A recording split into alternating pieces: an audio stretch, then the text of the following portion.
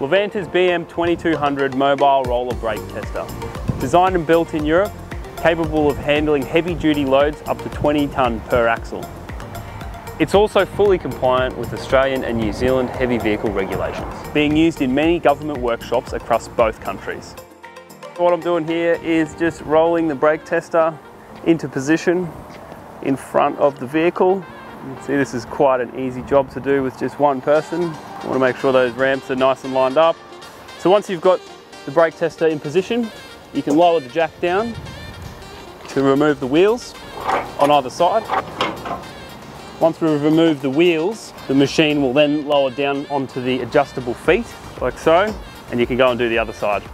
We can now fold the ramps down. Putting the last ramp down.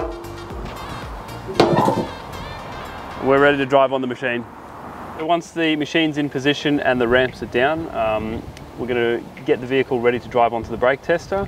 Uh, we're going to go over to the software and enter the vehicle details into the software before we drive the vehicle onto the machine. The BM20200 also features a tablet which you can use remotely uh, from the cab of the vehicle. So we're going to get in the cab of the vehicle now.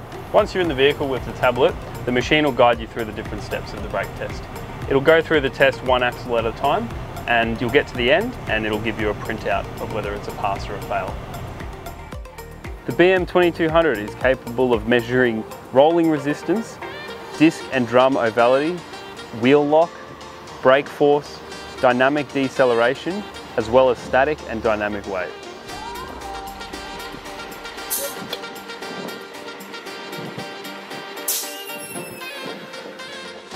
Once the test has been completed, the machine will automatically print off a copy of the test report, providing a pass or fail, displaying all the readings in an easy to read format.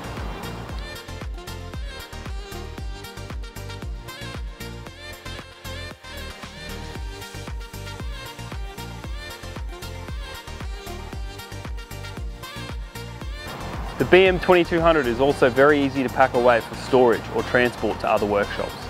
Simply fold up the ramps, disconnect the power leads, wind up the adjustable feet, store the laptop and tablet away and you're good to go.